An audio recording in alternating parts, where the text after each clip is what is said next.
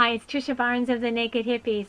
I just posted this on Facebook. I do this a lot. I create pictures with quotes, and I always uh, always try to put our business name on there, Naked Hippies Road Trip with a little peace sign. And people are always asking me, how did, how did you do that? I want to do that. So let me show you how easy it is. I use this program called PicMonkey. There is a free version of PicMonkey. It doesn't have quite all the features that are available when you pay for it. Uh, if you pay for it and you refer three people, then yours is free. All right, so you can see here you can you can create collages. You can design uh, Facebook covers and different dimensions of pictures and designs there. For this video, I'm just going to pull up a picture. This is what I started with to create that. And then you just add text.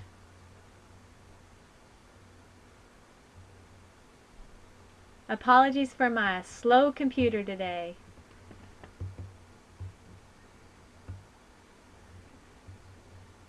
Alright, after I, I copied and pasted the test, I, I just go look them up online. When I'm all done with that, I just bring a text box down here to the bottom of the picture and I type in our business name, Naked Hippies Road Trip. Whoops, come back. Type it right, Trisha. Something about the faster you go, the worse you do, right? Something like that. Okay. Um, and then you, it's easy to change the size. You can change the font. You can change the colors of your of your font here. There's a lot of different things you can do with it. I just wanted to show you real quick how I how I put the symbol on there. It's this feature here.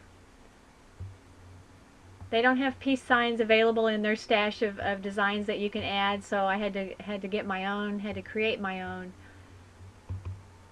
And I add that to it resize it so it doesn't, you know, so it complements the name down there. That's a little bit small. Put it down there with that.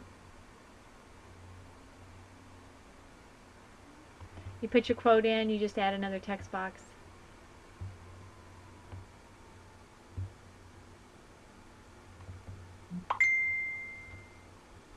Come on. I think it's because I'm recording a video that is kind of jerky.